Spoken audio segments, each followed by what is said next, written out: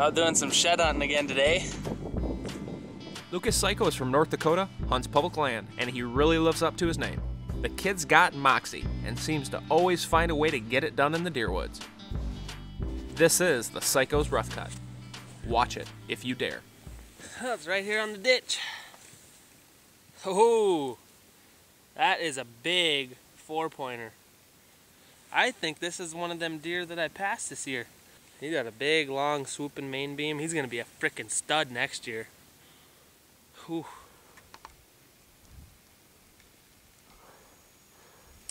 I know exactly which deer this is.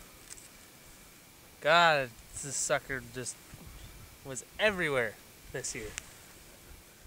I watched this deer so many times, passed this same deer up so many times. Good to see he's supposed to be alive still anyways.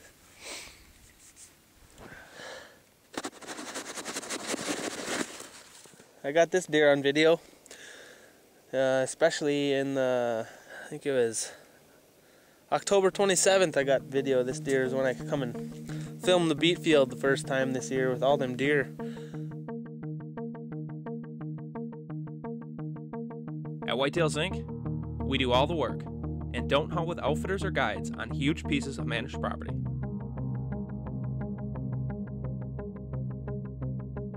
Do it yourselfers just like you. We're not professional athletes, but sometimes we feel like professional tree trimmers. We have extremely high standards and only compete with ourselves. I think I just passed about a thousand inches. We don't have any cool catchphrase Let's party. or feel the need to use face paint to fit in. We only use gear that works, and not because somebody's paying us to do so. The only thing that makes us special is our level of dedication. Well, except that Dallas Fort Worth wears a cape and is missing his trigger finger. Welcome to Whitetails Inc.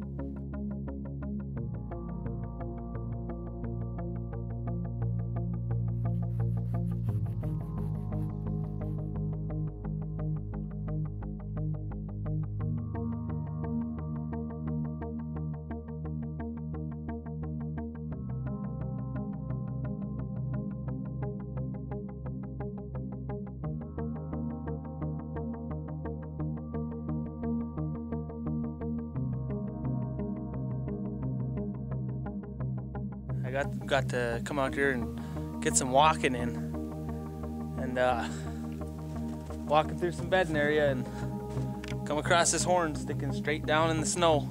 All I seen was that a dark, you know, out of place color sticking up out of the snow, kind of the shape of a beam, and I was actually about 10 yards away when I spotted it.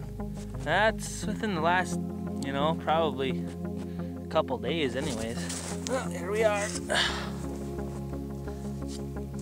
Nice four pointer. We drove the sled down, got down to the field edge, and we started walking in, and there was just tracks and stuff everywhere, just like there has been. And I told Brandon, just wait, just wait till we get up to that Russian Olive Grove, and we're gonna freaking hit some horns, cause that's just every year that's where they lose them. That's we just split it, we just split it in half. We each took a side, been working back and forth slowly through the trails and stuff on top of the bedding areas and, and everything. And lo and behold, I was on this side and I found a horn that, oh, this this deer just, he's got a hold of me. I mean, and if I ever could get a shot at this deer, which seems impossible because the older he's getting, it's just like he is, and he is invisible. And when he does show up, he only shows up at the right time for him, and, and it's just, he's just that smart. He's a nine-year-old deer now. Next year he's gonna be 10 and it's just unbelievable. Here we go, baby. Look at that thing! He's got velvet all over the back of it still and everything. Holy good God. Look at the mass on that thing. Look at that. Oh my God. Would not score for nothing, but I would shoot this over a five and a half year old freaking 160 any day. That's not even a joke. I certainly would. You know I would, right, Brandon? Oh yeah. I've got so much history with this deer. My dad missed this deer. I mean, look at all that. Still has velvet on there. He's just so goofy back here and stuff that that velvet's tucked away so perfectly that it just can't get rid of it. You can tell that if I could show you like a horn from this deer when he was in his prime, four and a half, five, he is all of this, but his tines were up here.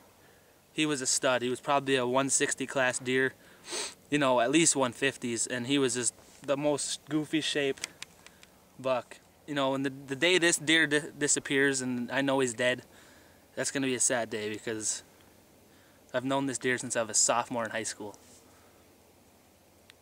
I just, I admire him so much. He's just so smart. To get by this long, it's just unbelievable.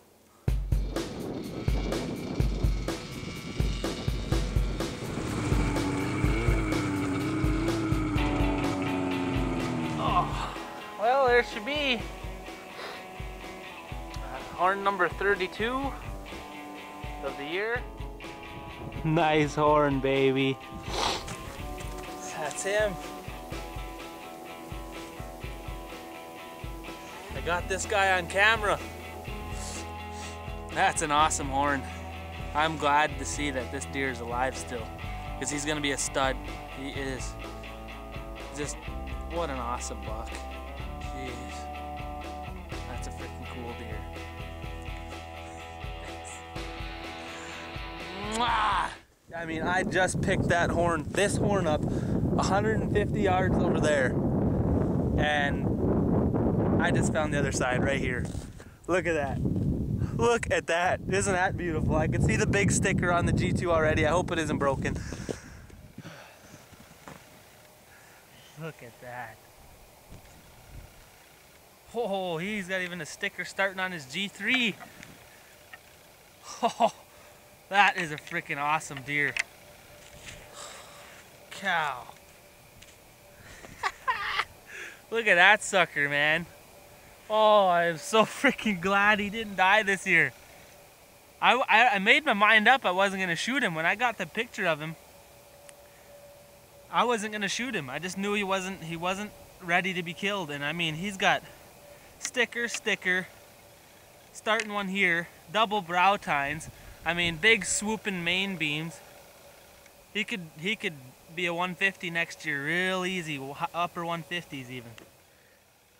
Look at the character on that horn. God, I love Shed hunting. I love it. He's this is just a freaking beastly side. He's got just awesome mass. I know this is only a four-year-old deer. This is a four-year-old deer. He could be just an awesome three-year-old, three and a half. He very well could be. Look at the size of that brow tine right there. Holy cow, man. That's that's just a stud. Ah, if this thing can just make it, I'll pick up on him next year, and I very well shoot this deer next year. I know he'll be mature enough. In the pictures, they look like three or four tops. Awesome. I just come across a monster set.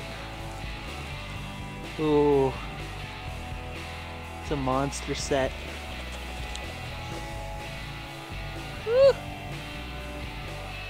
At all the blood on that one.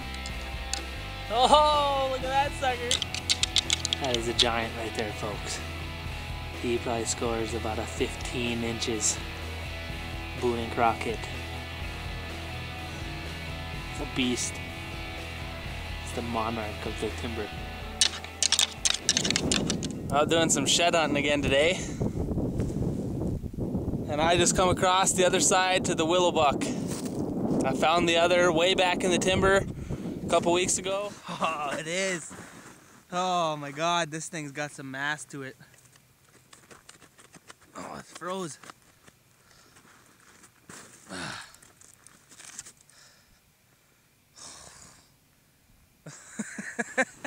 Holy cow. Look at this goofy thing. that thing is so ridiculous. You know, it's just crazy.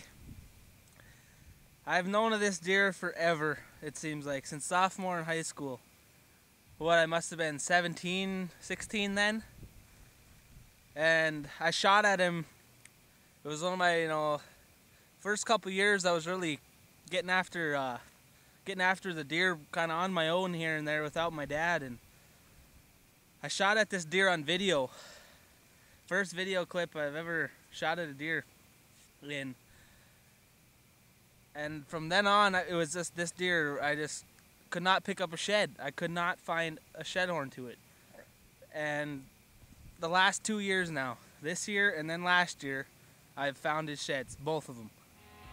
That's unbelievable. Check it out, see which one it is.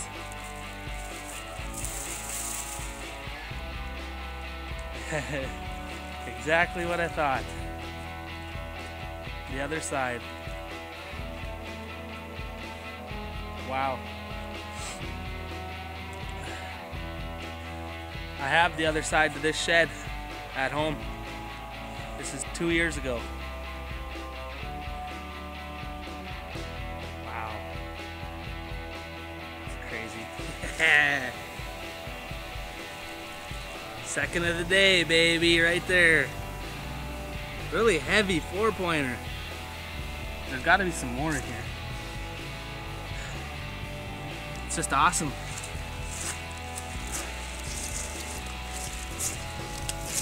Guys, I think we should start zigzagging right up through this higher area over here. And then uh,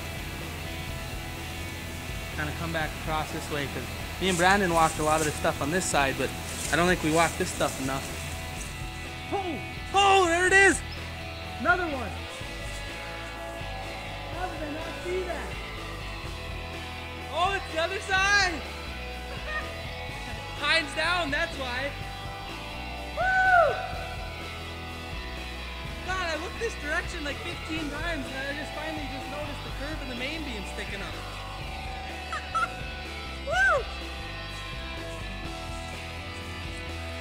I was just saying that, how hard it is to see in this stuff. oh, that's gonna be a pig deer one of these days, one of these years. He's heavy. Two and a half, three year old. God, he's got mass, like really good mass on the, oh my gosh. I can't wait to see what this guy turns into. we have uh, discovered a dandy shed horn across this creek.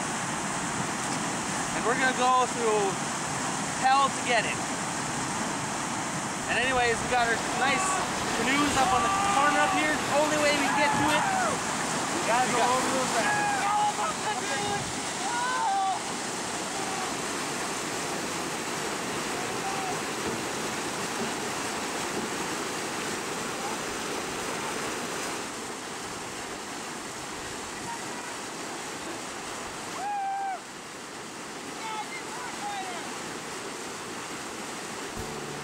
Thanks for watching part one of The Psycho. Next week, Cayko goes psycho. You've heard and seen testimony about Ozonics, and I understand your apprehension about scent elimination products. It took me three years to try one myself, but I have got to tell you, they work.